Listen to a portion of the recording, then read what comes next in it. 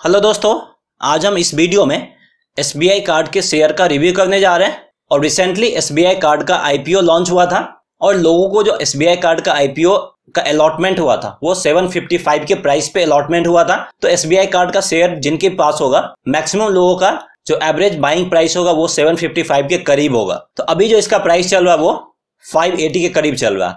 मतलब जो issue price था, उससे बहुत नीचे आ चुका है। अब यहाँ पे बहुत सारे लोग सोच रहे होंगे कि SBI कार्ड के शेयर के साथ हमें क्या करना है। तो इस वीडियो में हम इसका कंप्लीट रिव्यू और डिटेल एनालिसिस करने जा रहे हैं। तो कंप्लीट रिव्यू और डिटेल एनालिसिस करने के बाद आपको यहाँ पे मैं बता दूँगा कि इसके शेयर को अब यहाँ पे बेच के बाहर निकलना है या फिर अभी इसमें हमें बने रहना है। और जो लोग फ्रेश बाइंग करने की सोच रहे हैं SBI कार्ड में, उनके लिए अभी सही समय है या नहीं? या फिर एसबीआई कार्ड का आईपीओ और नीचे जा सकता है? तो वहाँ पे लोग बाइंग कर सकते हैं। इस पे भी हम बात करेंगे। साथ ही साथ इसका जो नेक्स्ट सपोर्ट लेवल है, वो कहाँ पे है? यानी कहाँ तक इसका डाउनफॉल और जा सकता है? वो भी मैं आपको इस वीडियो में डिटेल से बताने जा रहा हूँ। तो अगर आपके पास SBI कार्ड का शेयर पहले से मौजूद है, या नहीं तो आप SBI कार्ड के शेयर को बाई करने की सोच रहे हैं। तो कुछ भी करने से पहले आप इस वीडियो को ज़रूर देख ले, क्योंकि ये वीडियो देखने के बाद आपको क्लियर आइडिया मिल जाएगा कि आपको SBI कार्ड के शेयर के साथ क्या करना है। तो सबसे पहले मैं आपको बता दूँ कि हमने SBI कार्ड के ऊपर लास्ट वीडियो भी बनाया था, और उस वीडियो में हमने बताया था कि 700 के लेवल पे एक रेजिस्टेंस लेवल है और उसके ऊपर जाता हुआ नहीं दिख रहा। अगर वो ब्रेक होता है तो इसमें अपसाइड मोमेंटम आएगा, नहीं तो डाउन साइड मोमेंटम कंटिन्यू रहेगा। तो जैसा हमने लास्ट वीडियो में बताया था, उसी तरह का मोमेंटम इसमें देखने को मिला था। ये 700 के करीब जाके इसको ब्रेक नहीं कर पाया था, उसके बाद नीचे आया और 580 के लेवल तक पहुँच गया है। तो यहाँ पे मैं आपको एक चीज़ और बताना चाहूँगा कि एसबीआई कार्ड आईपीओ का जो ऑल टाइम हाई है, वो 769 है। यानी जो इशू प्राइस था, उससे ये थोड़ा सा ऊपर गया था। तो वहाँ पे कुछ लोगों को मौका दिया था बाहर निकलने का। तो कुछ लोग तो बाहर निकल गए होंगे, लेकिन बहुत सारे लोग अभी भी एसबीआई कार्ड आईपीओ में फंसे हुए हैं। उनको क्या करना, वो मैं आपको इस वीडियो में आगे बताते रहूँगा। ऑल टाइम लो है, वो है 575 जो कि आज ही कल में इस लेवल को टच किया है। तो सबसे पहले अगर हम सपोर्ट लेवल की बात करें तो जो 580 का सपोर्ट लेवल था, उसको ये क्लोजिंग बेसिस पे ऑलमोस्ट ब्रेक कर दिया है, और आज ये 578 के करीब क्लोजिंग दिया है। तो 9 अप्रैल को आपको देखना है कि 580 का सपोर्ट लेवल विगेन होता है कि नहीं होता।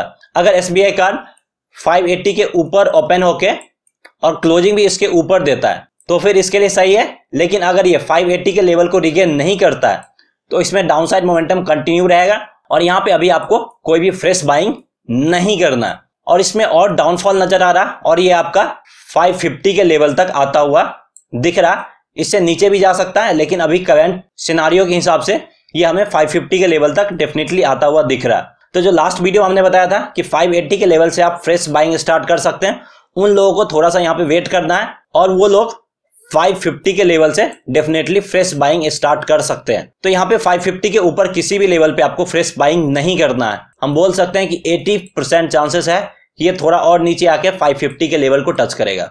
लेकिन अगर ये 9 अप्रैल को 580 के सपोर्ट लेवल को रिगेन कर लेता और इसके ऊपर क्लोजिंग दे देता।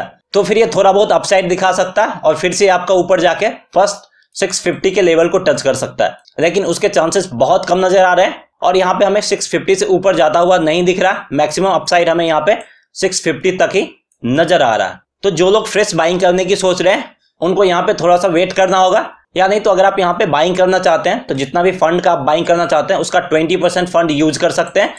580 के लेवल के नज़दीक। 20 परसेंट फंड से ज़्यादा यूज़ नहीं करना यानी अगर आपको S B I card, IPO में टेन थाउज़ेंड का इन्वेस्टमेंट करना है तो 580 के लेवल पे आपको सिर्फ़ टू थाउज़ेंड रुपीज़ का बाइंग करना है। उसके बाद जब ये 550 के लेवल के नज़दीक आ जाएगा, या फिर इस लेवल को ब्रेक करके नीचे चला जाएगा तो फिर आप यहाँ पे अब अपना 60 परसेंट फंड और यूज़ कर सकते हैं। 100 परसेंट फंड तब भी नहीं यूज़ करना 60 परसेंट फंड यूज़ करना और 20 परसेंट फंड और हमें बचा के रखना फर्दर डाउनफॉल के लिए। ये तो हो गया फ्रेश बाइंग के लिए।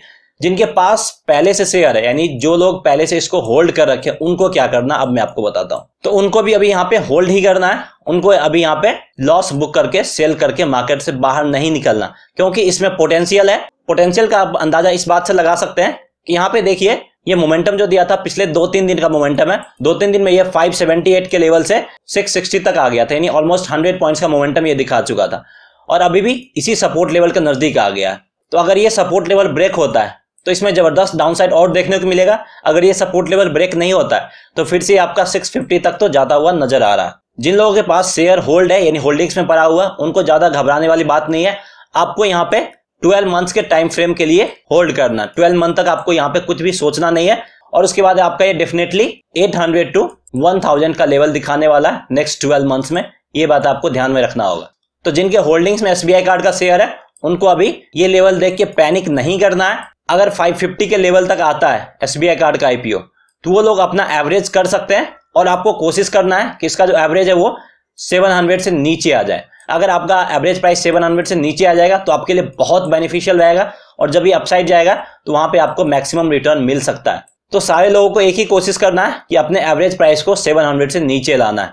ये काम आपको कब करना है? जब एसबीआई कार्ड का शेयर 550 के प्राइस के नज़दीक आ जाए या फिर उस लेवल को ब्रेक कर दे तो फिर आप बाइंग करेंगे तो एवरेज प्राइस ऑटोमेटिकली नीचे जाएगा और ये आपका 700 से नीचे डेफिनेटली आ जाएगा। तो जिनको फ्रेश बाइंग करना, उनके लिए हमने बता दिया, आप यहाँ पे 20 परसेंट का बाइंग कर सकते हैं, बाकी 60 परसेंट फाइव के लेवल पे कर सकते हैं। और जिनके पास शेयर होल्ड है, उनको अभी होल्ड ही करना, यहाँ पे लॉस बुक करके मार्केट से बाहर नहीं निकलना। So that's all friends I hope आपको ये वीडियो पसंद आया होगा। अगर आपको ये वीडियो पसंद आया तो इस वीडियो को लाइक ज़रूर करें और अगर अभी तक आपने हमारे चैनल को सब्सक्राइब नहीं किया है, हमारे चैनल को सब्सक्राइब भी करें और साथ ही साथ बेल आइकन दबाना ना भूलें।